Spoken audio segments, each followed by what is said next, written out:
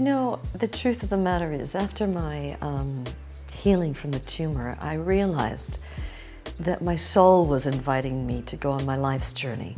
And even though I thought I was already on a spiritual path and on a healing journey, I was, I was aware that part of what the journey gives you is the ability to learn your life's lessons and come to understand who you are, why you're here.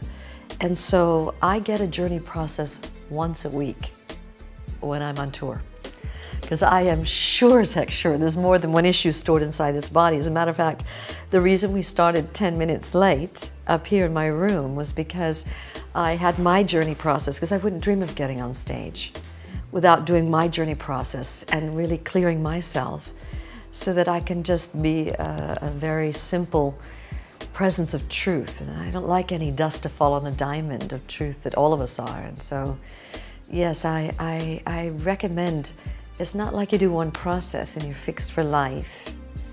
It's your soul's journey.